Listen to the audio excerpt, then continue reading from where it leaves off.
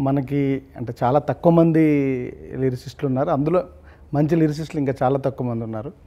Cinema సాహిత్యానికి value తెచ్చిన వాళ్ళు మన మొదటి నుంచి మాట్లాడుకుంటే ఆత్రేయ గారు సీతారామ శాస్త్రి గారు వేటూరి గారు. తర్వాత అంటే ఈ జనరేషన్లో డెఫినెట్గా అశోక్ తేజ గారు. అశోక్ తేజ గారు.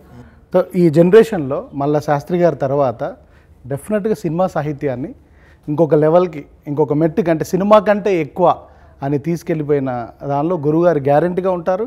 తర్వాత మనం అందరం దీని గురించి మాట్లాడుకుంటాం. నేను ఫస్ట్ సిచ్యువేషన్ చెప్పినప్పుడు వేరు అసలు ఎందుకు ఈ పాట పెట్టాలనుకుంటున్నాను క్వశ్చన్ వేశారు నాకు. ఈ సినిమాలో ఈ పాట లేదు ఒరిజినల్లో.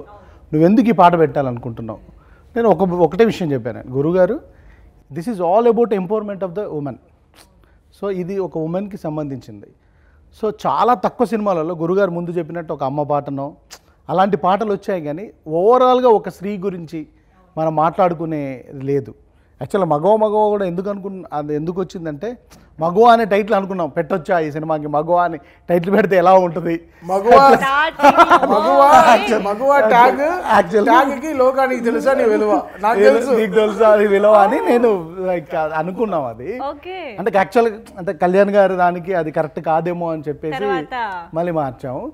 సో ఆ సిచ్యువేషన్ అప్పుడు చెప్పినప్పుడు నేను గురుగారు వెరీ సింపుల్ అంటే ఆయన చెప్పినట్టుగా నేను చాలా తక్కువ వర్డ్స్లో క్లియర్గా చెప్పేశాను.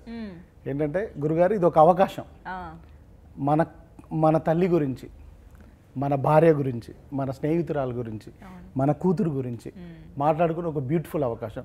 ఇది మళ్ళీ మళ్ళీ రాదు. ప్లస్ ఇది ఒక కళ్యాణ్ గారు లాంటి సినిమాలో దీన్ని రీచ్ వేరు.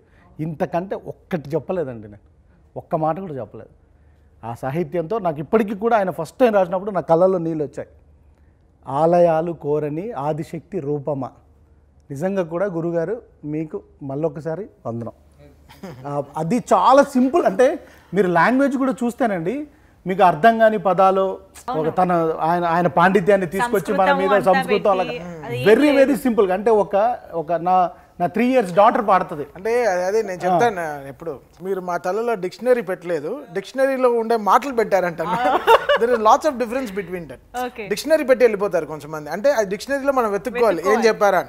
కొంతమంది దానిలోంచి మాటలు పెడతారు. Right there is lots of difference to go in to the people's thing very easily మీకు ఇంకో సర్ప్రైజ్ ఉంది యాక్చువల్గా సెకండ్ హాఫ్లో ఇంకో పెద్ద సర్ప్రైజ్ ఉంది. అది సర్ప్రైజ్ ఇప్పటికి దాని పేరు సర్ప్రైజ్ అలా అడగొద్దు మీరు. ఆ సర్ప్రైజ్ ఏంటి అని అడగొద్దు. సర్ప్రైజ్ అసలు సర్ప్రైజ్ ఉందా అని నేను అడిగానా? మీరు సర్ప్రైజ్ ఉందని చెప్పారు. లేదు లేదు ఇది- పర్మిషన్ లేదండి. సర్ప్రైజ్ చెప్పడానికి లేదు. దీనికే రాజుగారు ఇంటర్వ్యూ చేసి నీకు ఎందుకు తమ్మని? యాక్చువల్గా ట్యూన్ కంపోజ్ చేసినప్పుడు గురుగారు నేను ముందు రోజు వెళ్ళాను. యాక్చువల్గా ఒక జామ్ అవుతున్నాం మేము. అలా వైకుంఠపురం ఆర్ఆర్ జరుగుతుంది. ఒక వన్ వీక్ జామ్ అవుతున్నాం. మార్నింగ్ రమ్మంటున్నారు. నేను అనుకుంటున్నాను మార్నింగ్ రమ్మంటాడు ఏంటి? అసలు నాకు వేరే రైటింగ్ వర్క్ ఉంది. అని అంటుంటే ఒక వన్ వీక్ లేదు నువ్వు మాట్లాడుతుండు నువ్వు మాట్లాడుతుండు నువ్వు నాకు మాట్లాడుతుండు అన్నాడు. అన్నారు ఏంటి ఏంటి డార్లింగ్ ఇది? అని అంటే లేదు లేదు నువ్వు మాట్లాడుతుండు మాట్లాడు ఒక సెవెంత్ డే అలా మార్నింగ్ వచ్చాడండి. ఇప్పుడు ఎలా వచ్చారు అలా వైట్ అండ్ వైట్లో వచ్చి అలా కీబోర్డ్లో కూర్చొని అలా ప్లే చేశారు. దెన్ అసలు ఆప్షన్ కానీ దానికి అసలు డిస్కషన్ కానీ ఏమీ లేదు ఆ ట్యూన్కి లైక్ యూనో అంటే నేను చెప్పాను కూడా ఏంటంటే మగో మగో సాంగ్కి నేను మీకు జీవితం మొత్తం ఊడిగా చేసేస్తానండి అని చెప్పేసి